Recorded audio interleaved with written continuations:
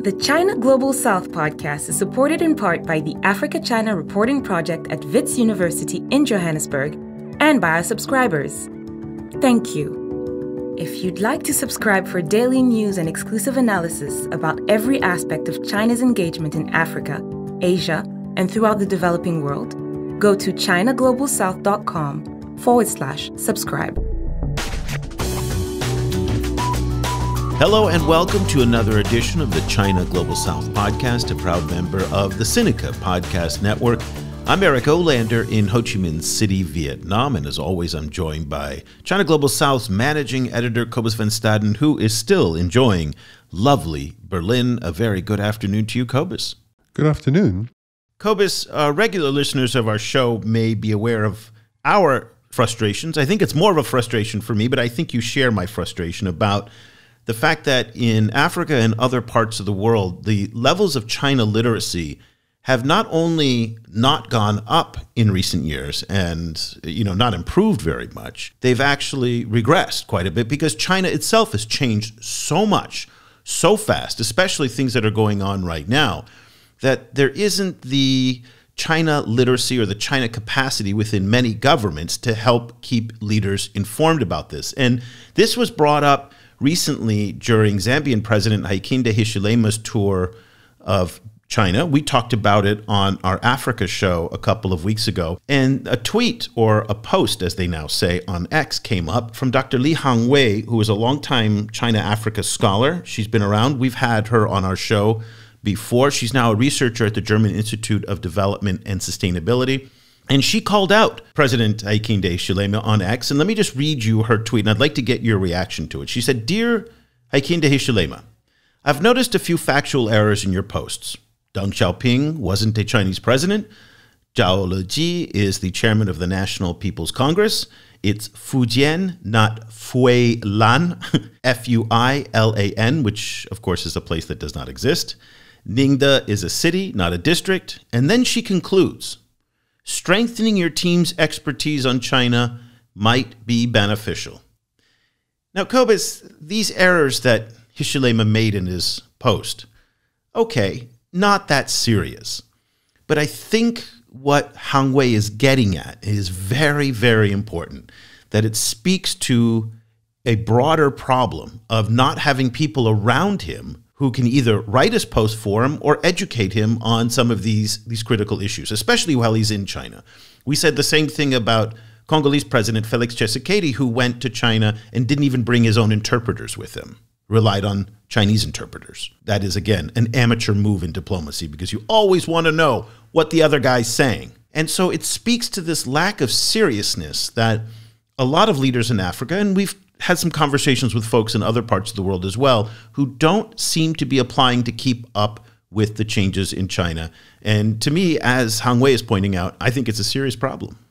Yeah, I also think so. I mean, particularly now when China is playing such a pivotal part in Africa and when African leaders are facing such uphill struggles in other parts of the world, particularly around, for example, climate funding. If you don't take yourself seriously, then no one else takes you seriously. And that is starting to feel a little bit like something that's kind of creeping in there. And we've heard it also from Kenyan President William Ruto, who was talking about China funding an extension of the railway. And that speaks to the fact that the Kenyan president himself isn't aware that China isn't doing this anymore. The new loan data came out last week from Boston University that showed this massive drop off in lending to Africa. And I was so surprised. And I don't know if you were surprised. I thought this topic was going to get a lot of attention given how obsessed everybody in Africa and the West has been over the past 15 years about Chinese lending in Africa. Here we have a definitive report okay, in many ways, a benchmark report that shows the lowest lending in 20 years. And honestly, it was met with a giant yawn. Nobody really paid attention to it. I didn't understand that. I was expecting more discussion about these loans issues. Were you? Um, yeah, I, I, was. But I also think that in a lot of ways, how can I say, like something not happening, lending not happening is, you know, kind of, there's just, there's something in, in reporting that kind of makes that inherently harder to get excited about, I think. But then I think that the main reason actually is that among Western commentators and among African commentators, big loans were inherently just bigger news than no big loans, you know, even though for us, and, and of course, the, even though realistically, the two are linked and the trend is incredibly important. The trend is, is probably more important than, than some of the big loans that, that happened before. But you know kind of there, there's something i think in the in the kind of calculus of, of reporting and particularly the, also the political calculus happening in both in africa and in the west where they just don't want to hear about no big loans from china. The only thing that's interesting for them is big loans from china. Well, the reason why this is so important right now is because if you don't understand what's happening in China today, then if you are government X, Y, or Z and you approach the Chinese and you're not bringing in the right proposals, you're not bringing in the right ideas, you're not meeting them on their terms. And right now, the magic words in the Chinese development finance sector is small is beautiful. Again, understanding this concept, I won't go into it now because we've talked about it extensively on the site and in previous episodes. If this is a topic you're interested in, just search on the site for small is beautiful and you'll start to see a lot of research that's come up about it. But this is the new trend in Chinese development finance. And this new trend is reflective of the current economic realities at home in China. And those issues in the Chinese economy are absolutely fundamental to the global south, given the fact that more than 120 countries around the world now count China as their largest trading partner. A lot of those countries are in the global south. I mean, the bottom line is that the Chinese economy is in real trouble right now. There's a very serious problem in the property market. Youth unemployment is so bad that the government announced it would no longer even publish data on it. Chinese provinces, get this, Cobus, we talk about debt crises in the global south.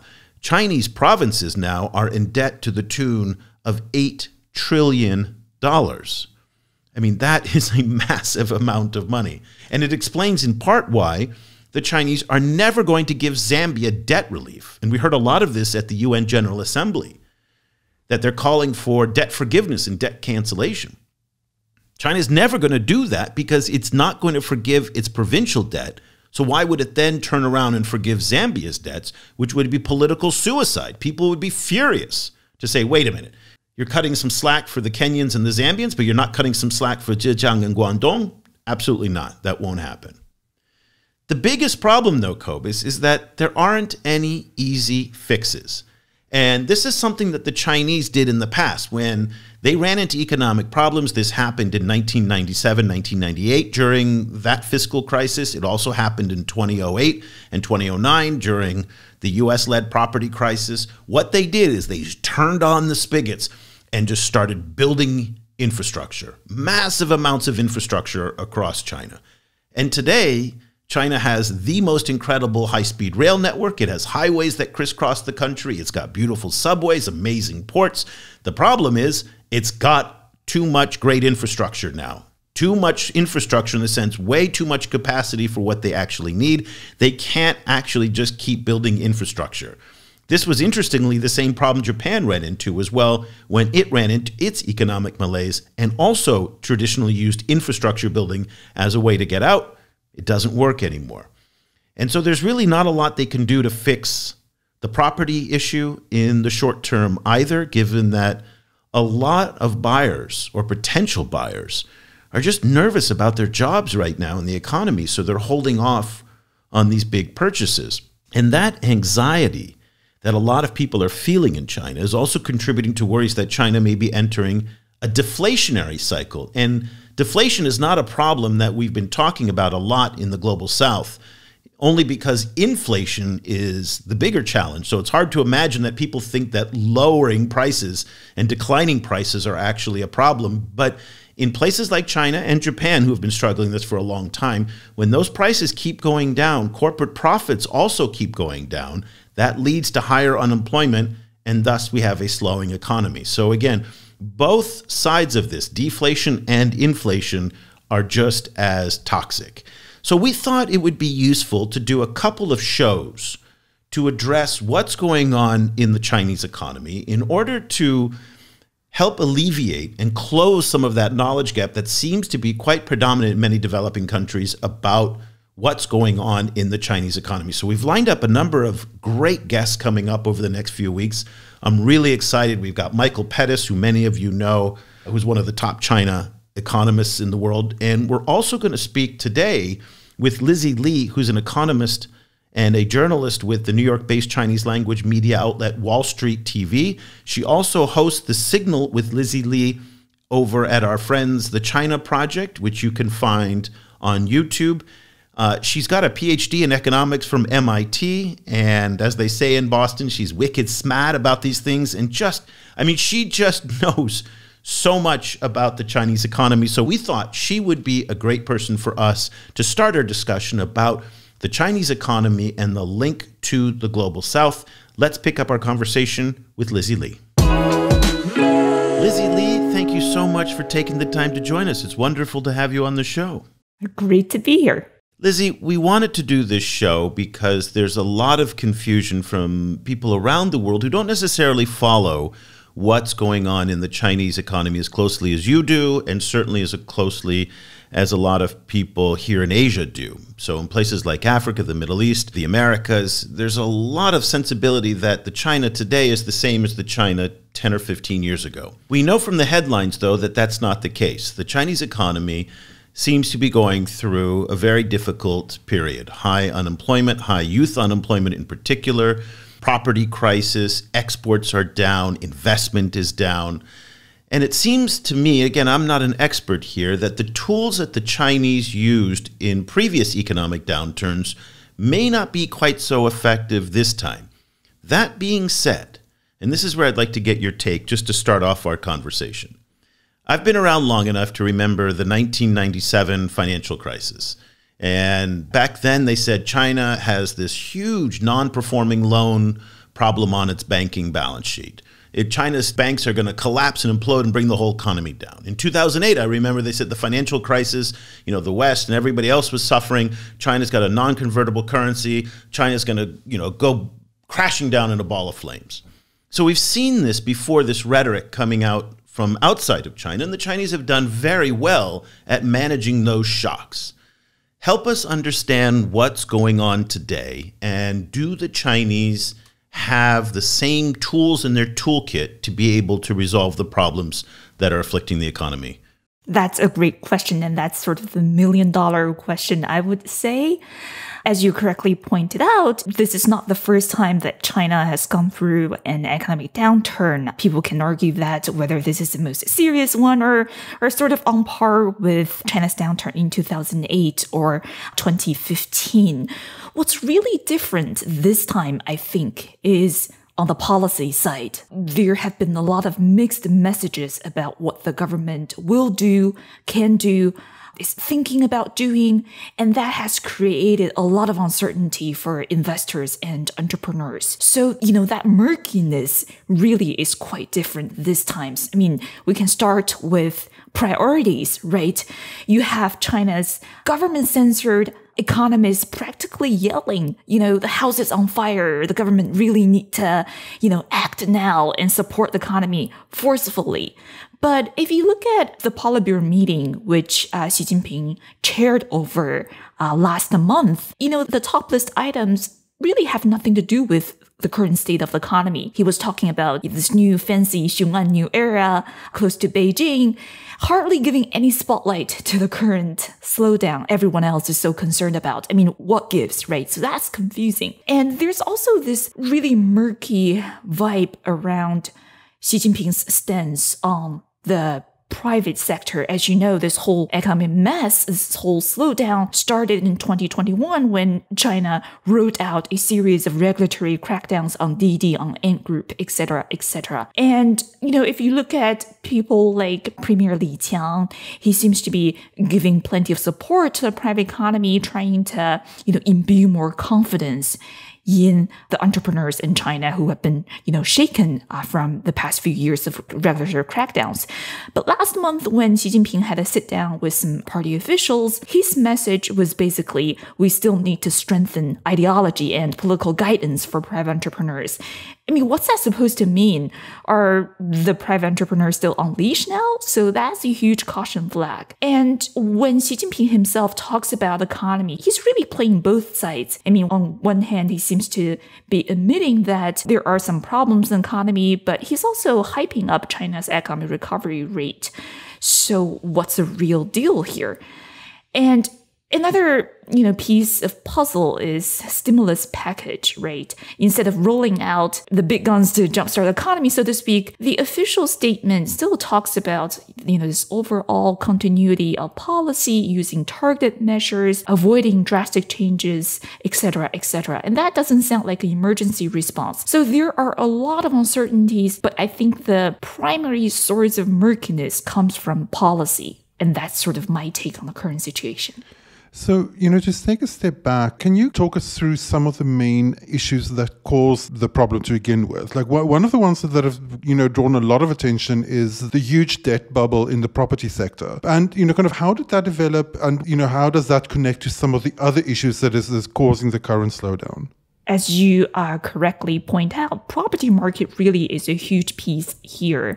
As you know, uh, China went through two decades of spectacular growth, but property market features as a sort of a really substantial piece in that, you know, by some estimate, private sector, I mean, sorry, the, uh, the, the property market and related sectors account for 25% or even 35% of China's past years of GDP growth. And that's a significant chunk of the economy. But uh, as you also know, China has accumulated a huge range of problems through that spectacular growth. We can talk about wasteful investment. We can talk about all those ghost cities, money poured into the property sector and didn't really contribute to, you know, efficient growth, etc., etc. And local governments have accumulated this huge pile of debt.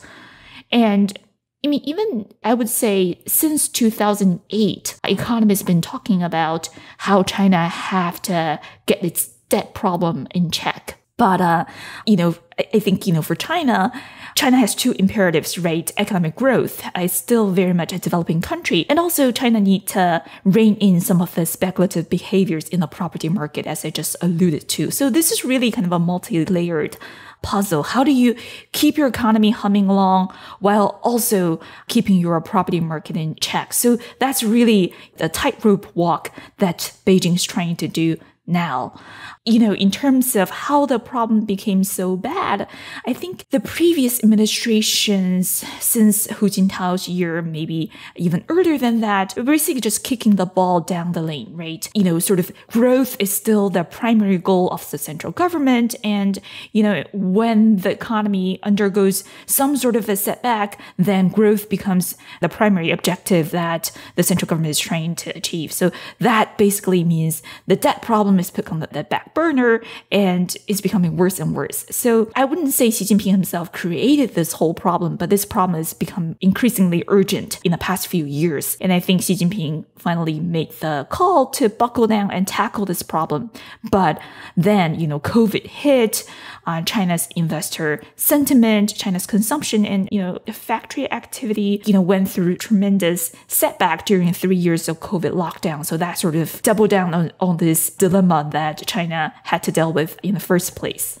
So property is very important in all of this. Uh, I'm not entirely sure if it's the main part or just a critical part, but I'll let you help us understand that. But I think for our audience, just to see if I understand it, let me walk through it and understand and lay out how this might work. So in the old days, the way that provincial governments generated a lot of revenue in order to fund their own development was that they released land to property developers. These property developers would then build these huge developments, people would buy them, and everybody was happy. The problem came when all of a sudden the government was holding auctions for land and the property developers didn't have enough customers to buy the land, and that whole cash flow started to dry up. The debt then from the provinces starts surging and we are in the situation that we're in today. Is that a fair summary of, I mean, a very simplistic, albeit, but a fair summary of at least where one of the big problems in the property sector lies? Yes, so land sales, this is something that uh, local governments sort of got the a substantial chunk of their revenue from. But, you know, so that's basically the primary source of their income. So, you know, China's local governments. Not tax revenue, though. So in other countries, they will tax on income and they'll tax property. But the Chinese, they do tax income because I know when I worked in China, I had some income taxes, but I, there was no property tax as we know it. Right, that's correct. And, you know, in fact, there are some chatters among Chinese economists on whether, you know, this will be the time for uh, local government to roll out more municipal bonds, as is the case in, you know, in, in other countries. But that's sort of a long term solution to a short term problem, and it won't be rolled out anytime soon. So this whole problem created by land sale model is still sort of, you know, the, the, the source of the problem that, uh, you know, sort of give rise to the current ills in the pro- uh, property sector in China. So, in addition to the property and related debt problem, there's also the increasing trend that foreign companies are pulling out of the Chinese manufacturing sector, partly due to increasing geopolitical pressure coming from countries like the US. So, you know, there's been a lot of kind of very kind of like big claims being made in the Western press, particularly about like, okay, the Chinese manufacturing sector is declining and it's being replaced by Vietnam or by India, etc., etc. So, how serious is this issue or this trend? For the Chinese economy as a whole? Right. So I think you know you know this is China plus one you know moving Chinese you know investment to India to other Southeast Asian countries are I guess it's wise investment strategy in theory, but in practice, it will probably take decades to roll out. And the evidence of moving supply chains, uh, moving money out of China is still very weak and uh, investor sentiment driven, not driven by any fundamentals. And, you know, if we look at sort of the current state of the economy, there are, you know, several factors that we can focus on a few key metrics, as we say. We can look at factory activity. We can look at consumer sentiment. We can look at property market, as we just talked about. We can look at investment. And if we break it down, we actually saw signs of recovery in factory activity and consumption. People can argue that, oh, you know, the signs of rebounding in consumption is largely due to people loosening their purse strings during summer vacation, etc., etc. So there's some debate there. But in general, I think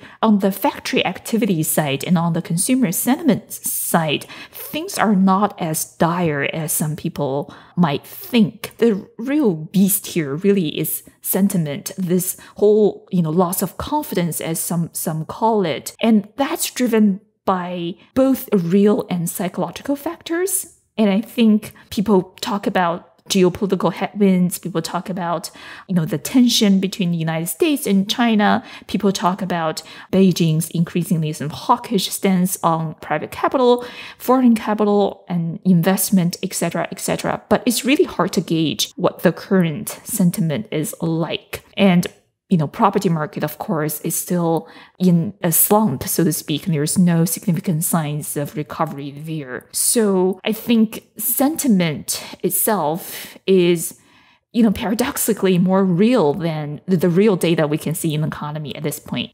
If that's the case, and I hear the same thing from people here in Vietnam who say that Vietnam, for example, or India cannot replace China. They don't have the scale, they don't have the infrastructure, they don't have the supply chains. You know, in China, you can go to one town and that town only makes a certain product.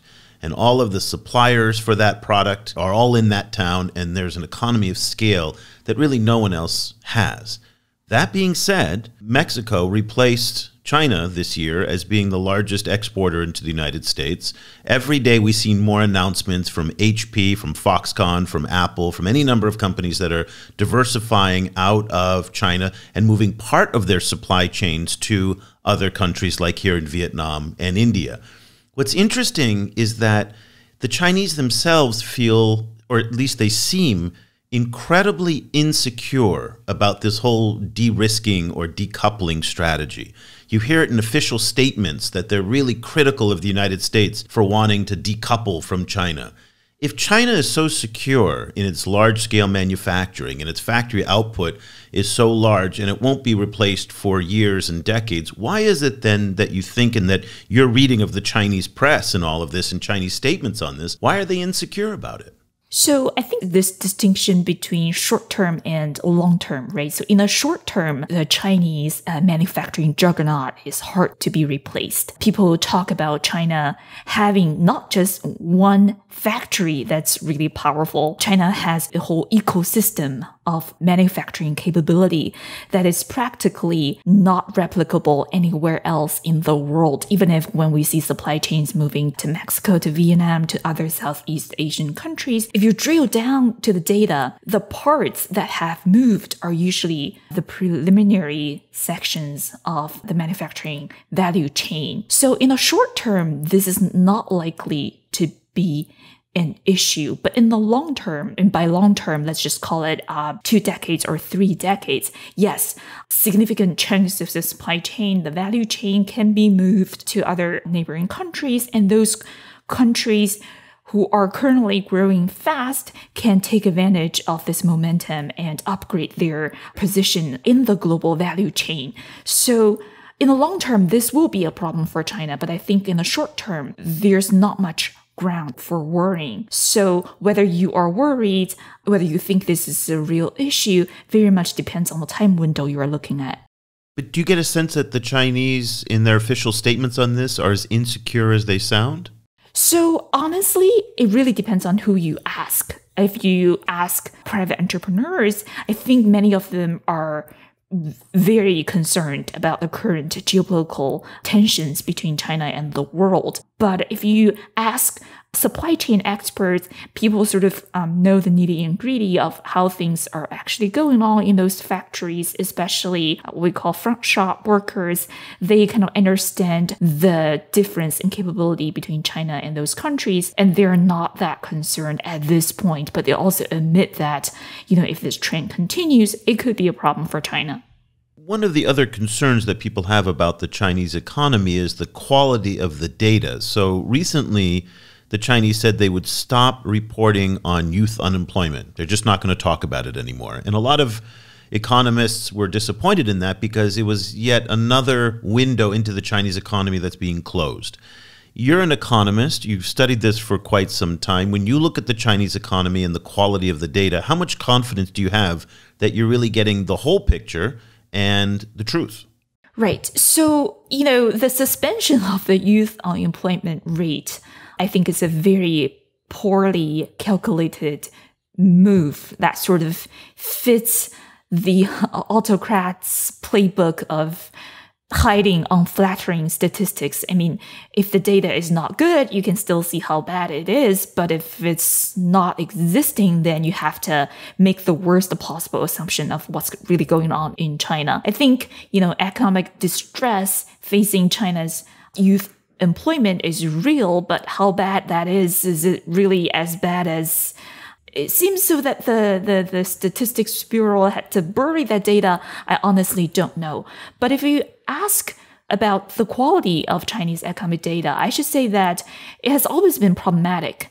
The problems become worse when the state of Chinese economy is poor. So, you know, in good years, the data is kind of on par with external estimates. Uh, when things turn worse than the data sort of uh, deviates from sort of third party estimates of what uh, you know economists perceive to be the accurate portray of the state of the economy. So that points to data manipulation. But on the other hand i would say over the past few years before the covid situation uh, the quality of data actually improved not because of this sudden reckoning that we should you know produce better data. But i think the you know the, the technology to collect data basically improved and that's sort of a global phenomenon not just limited to china. So you know as i say having data is better than no data at all. And even if the data you see is not an accurate portray it's still valuable for other purposes so historically, one of the interesting, you know, issues to watch, you know, in like throughout Chinese history has been the relationship between power from the top and then, you know, popular satisfaction. And part of the kind of deal between the Chinese Communist Party and and and the, the population in China has been, a, you know, a, uh, a, certain kind of curtailing of certain kinds of rights with the exchange of, of very high growth rates and very very quick development. So, do you get any kind of sense of how the politics is kind of rebalancing in relation to, you know, tougher economic times in China at the moment? Right. So that's a great question. I mean, people talk about this implicit social contract between the Communist Party and the Chinese people. Basically, the Chinese people give up certain political rights in exchange for economic prosperity. And I think that formula had worked well for two decades or three decades.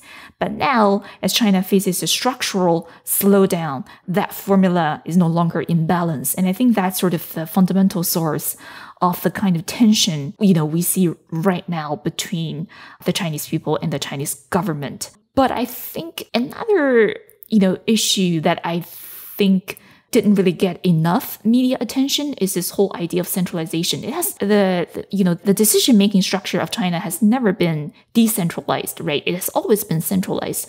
But here, I mean, this time around, I think the drawback of centralization is no longer just a theoretical concern. We are starting to see signs of real world implications on how China is managing its economic slowdown. It's like there's this bottleneck where all decisions have to flow through the very top. And by very top, that basically means one person. And in the past few months, it's increasingly clear that that has created a lag in action, especially in a rapidly changing economic landscape. And I think that's something that could have significant ramifications, not just for China, but potentially for the implicit social contract that we talked about previously. Now, we've covered a lot of ground in a lot of different areas. Again, our purpose today is to help people who are in the global south to better understand what's happening in the Chinese economy so it relates better to them. In this case, many global south countries, in fact, more than than any other country, they sell to China and they have become dependent on China. Many of our raw materials that then go into manufacture finished goods, those are the factory orders then that are very important what is the most important thing or the most important things that you think policymakers in developing countries should understand about the current changes that are underway in the Chinese economy? I think every economic problem in China fundamentally points to politics. And I think it's important to understand how decisions are made in China, understand how the political system works. Sometimes it can be uber rational, sometimes it can be completely insane. And I think that's the piece of puzzle, not just, you know, decision makers in, in, developing countries, but decision makers across the world should get a better handle on. And I should admit, we're basically looking through a black box now, and it's really hard to tell what's actually going on. But I think you know, finding credible sources, talking to people on the ground to understand how day to day economic decisions are actually made, whether something is decided on an economic basis, whether something is decided not on an economic basis is super important. I think the limited decision making authorities to experts to people like sort of experts in, in the state council, people working in uh, urban planning sector, housing sector, etc., etc., is quite distinct this time around. And it's really important to recognize that decision making authorities are delegated differently this time around under Xi Jinping's administration. And that will have implications on how major economic policy changes and, and stimulus efforts are rolled out. So you are in the US at the moment, and US discourse on China feeds into a small but very significant part of African and other global South societies. You know, it feeds into the kind of elites that end up making a lot of either pro-China decisions or kind of being, in the case of my own country, South Africa, being the kind of anti-China neoliberal kind of side of, of that conversation. So I was wondering what you feel the US discourse about the Chinese e- economic situation at the moment is getting wrong. Like, what should be added to that conversation?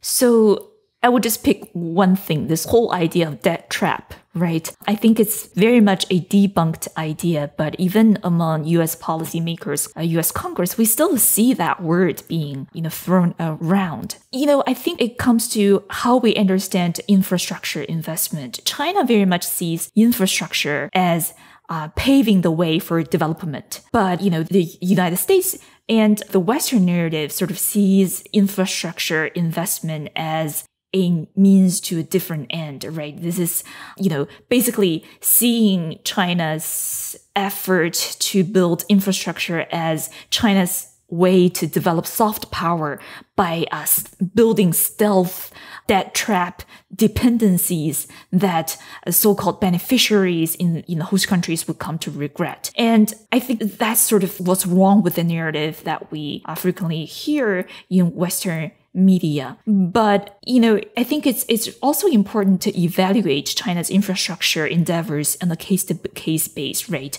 Some uh, projects are of higher qualities. Others do have problems like corruption and sort of wrongly designed debt structure that can be perilous to the host countries. So I guess, you know, it really depends. I mean, I wouldn't say either narrative is better or more correct than the others. But on balance, I think we need to drill down to each and every case and see what's actually going on. Uh, the reality is infrastructure is probably always going to be very politically fraught. And there will always be infrastructure projects that will end in debt, bankruptcy, etc., etc. But uh, I think it's also important to recognize how some of the Chinese infrastructure plan and strategy are uh, giving rise to some of the best global economic projects ever conceived. And I don't think the United States or Western countries can follow or have the ability to follow China anytime soon. Cobus, it's like she's been listening to our show for the past 10 years. I mean, she's just repeating it back to us. We, Lizzi, this is, you know, your, your words are music to our ears. We talk about the debt trap and infrastructure and the whether or not the U.S. and Europe can compete on those fronts. So, uh, so yes, we feel validated in your comments. so thank, but thank you so much for taking the time to explain My what is pleasure. an incredibly complicated issue. And you helped us really to sort things out. Lizzi Lee is an economics journalist with the New York-based Chinese language media outlet Wall Street TV, and she's also a host of The Signal with Lizzi Lee at the China Project, which you can find on YouTube. We will put links to the YouTube show in the show notes. Lizzi, if people want to follow you besides what you're doing at the China Project, can they find you elsewhere on social media?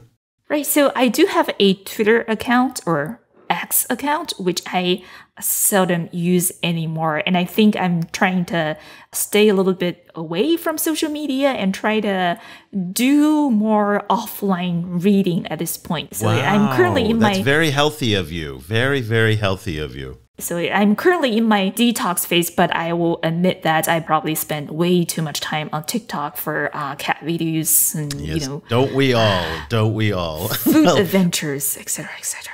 well, thank you so much for taking some time away from your cat videos on TikTok to join us. We really do appreciate it. Thank you so much. Such a pleasure to talk to you too. Cobus, Lizzi highlights how incredibly complex this is.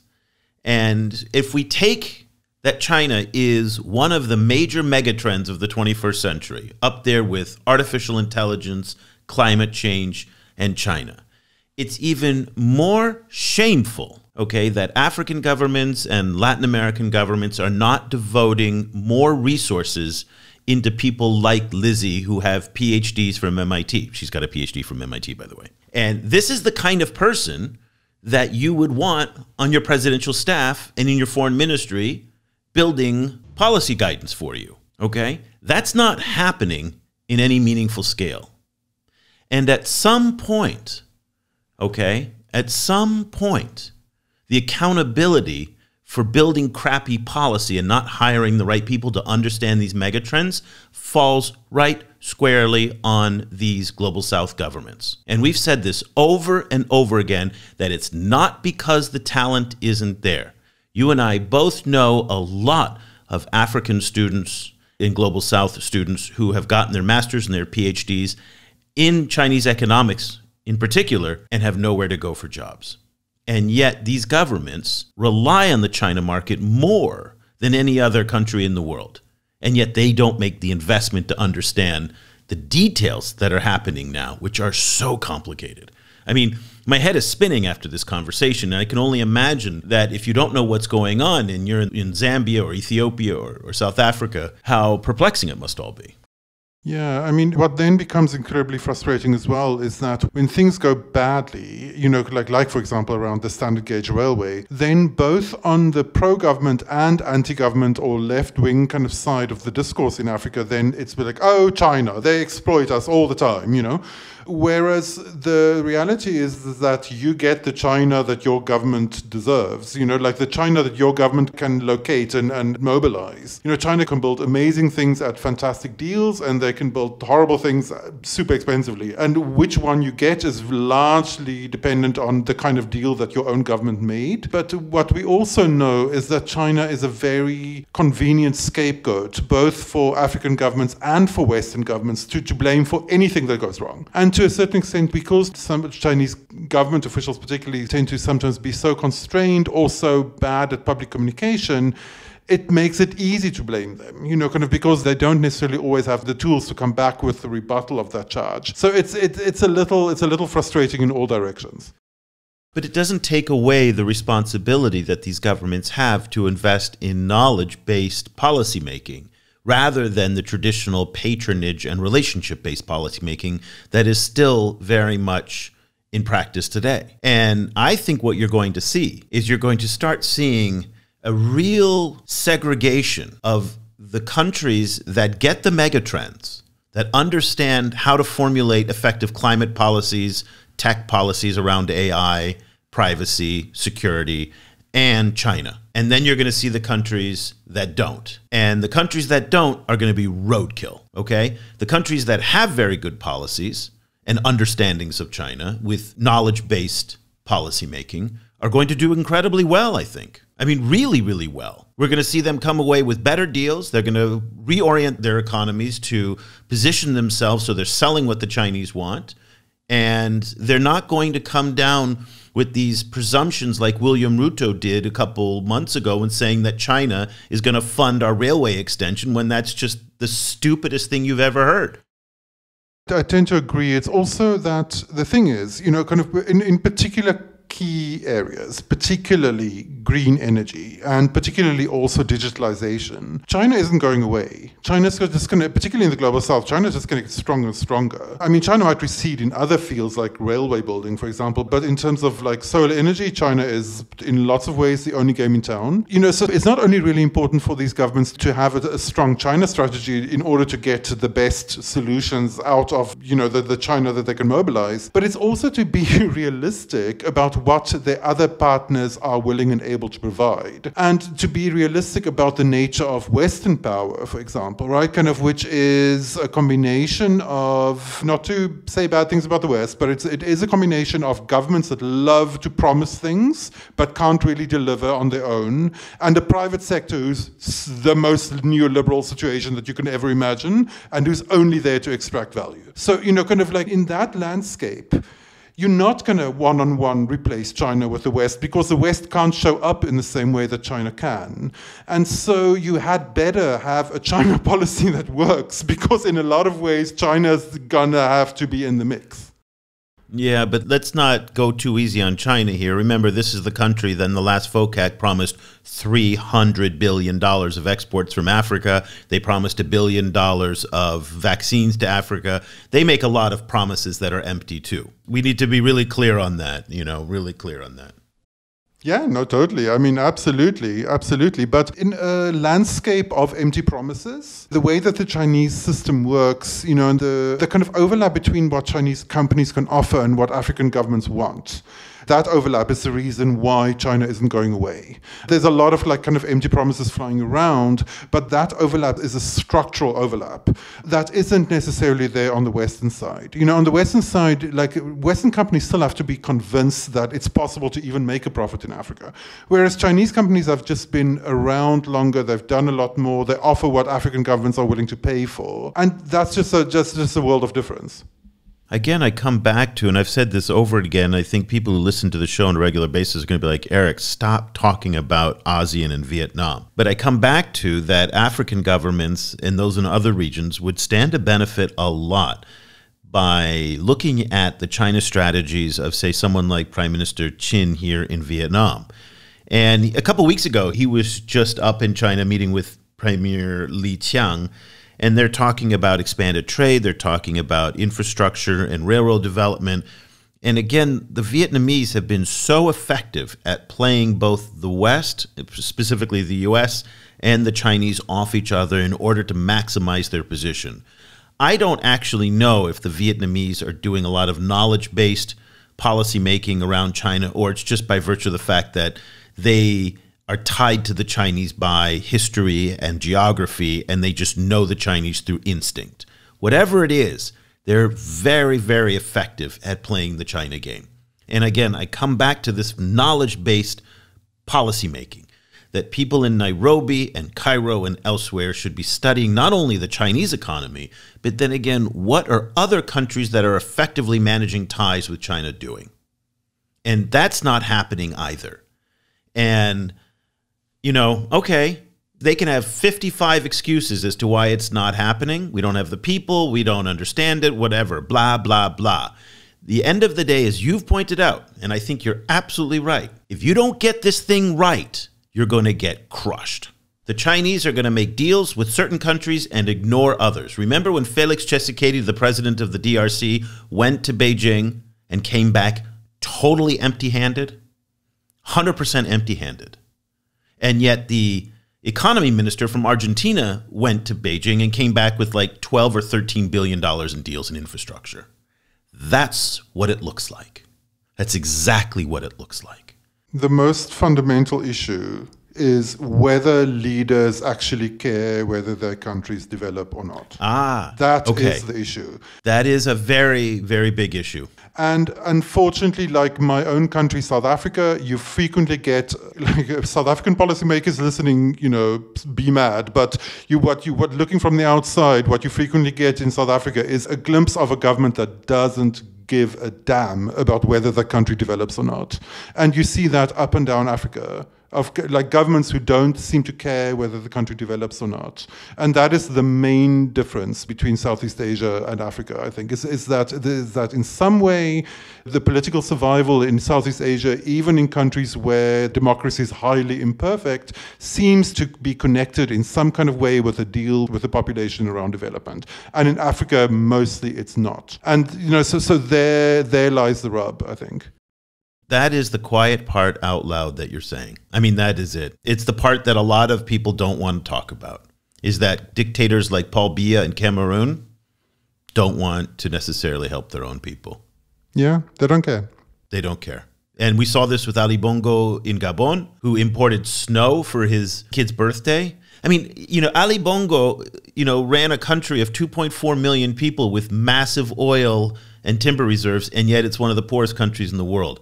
How the F is that possible? But you know, it's also the funny thing is that that goes both ways because there was recently this amazing viral video where soon after the coup, Ali Bongo made this appeal. There was this this um, recorded message where make it was noise. Like, he wanted yeah, people calling to make calling noise. on the population, make noise, make noise, to you know.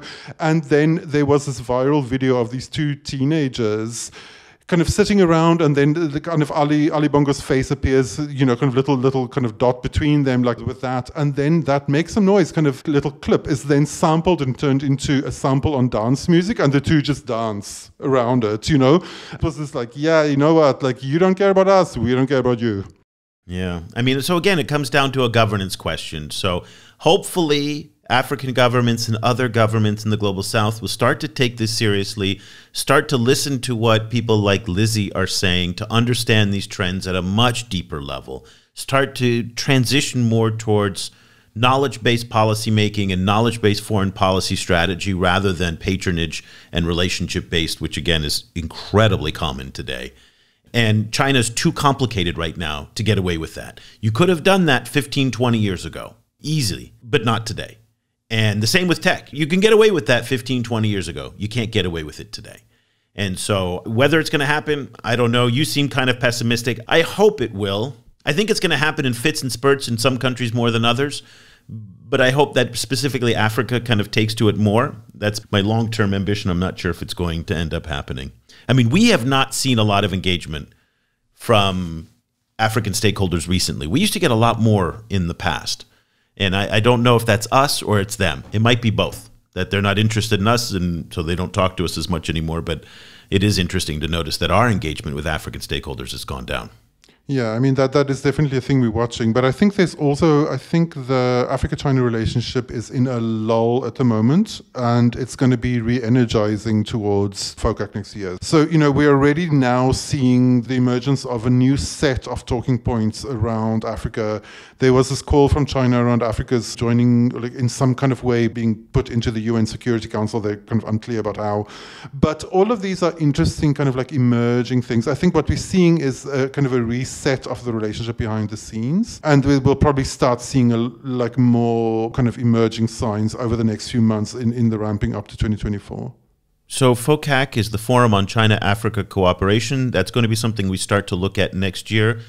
Most likely, they have already started the negotiations among the various African delegations with the Chinese government. And it'll be interesting again to do a report card too on what worked and what didn't. Again, the Chinese promised $300 billion of exports from Africa to China. They're nowhere close to it, but they have increased agricultural exports quite a bit.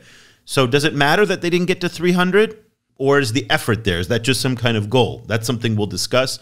Also, vaccines. Well, do vaccines matter as much anymore now? Mm, maybe not you know, so we'll look at what they promised and what they delivered. That's something we're going to start focusing on next year. So let's leave the conversation there. Fascinating discussion about economics. We're going to do a couple more shows on the Chinese economy with different economists so that you really get a better understanding of what's happening domestically in China.